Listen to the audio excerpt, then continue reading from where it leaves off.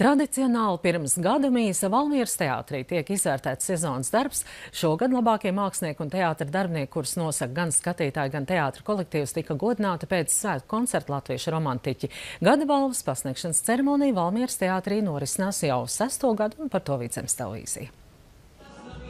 Visam pāri ir ticība mīlestības spēkam. To pauž nevien aktieru izpildīties skaņdarbu Lamieras teātra akademijas koncertā Latviešu romantiķi, bet arī aizdītās sezonas izrādes. 2016. 2017. gada sezonā uz Valmieras teātra skatuves pirmizrādi piedzīvoja 11 iestudējumi, tostarp arī Emijas Laime Māras ķimēls režijā.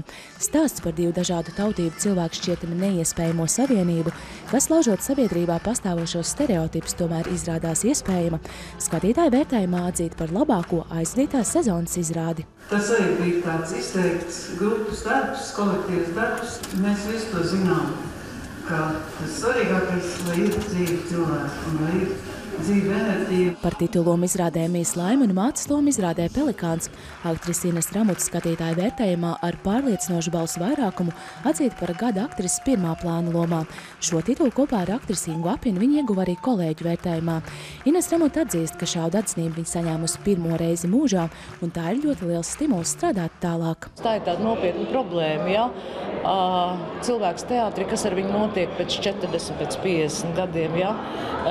Šis nu, brīžiem ir šīs izspiestās tūbiņas sindroms. Tev jāsaprot, ka tev ir gadi, ka tas ir objektīvi, un tāpat laikā tu nevari tā kā saka, laisties zemē, ja? kā saka, tieši otrādi. Teātra kolēģi vērtējumā sezonas labāko aktieru apbalvojumu arī saņēma divi mākslinieki.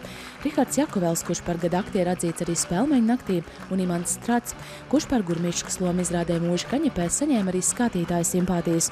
Šogad aktieris vērtē kā ļoti raibu un darbīgu, taču, lai arī daudz spilgtu lomu nospēlēts, Imants neuzskata, ka sezona bijusi veiksmīgāka vai īpašāka nekā citas. Šobrīd viņš raugās tikai uz priekšu, negremdējoties atmiņās par to, kas paveikts. Tu esi tas, kas tu esi tagad nevis tas, kas tas kādreiz bijis.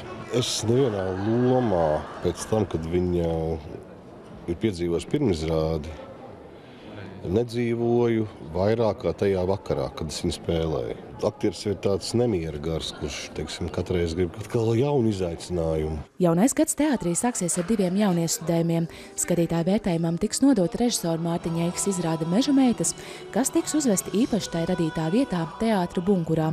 Janvārī ar iestudējumu 104 lapus par mīlestību Valmieras teātrī debatēs arī jaunais režisors Georgijs Surkovs, Santa Baumaņa Mārtiņš Palka Vidzemes televīzija.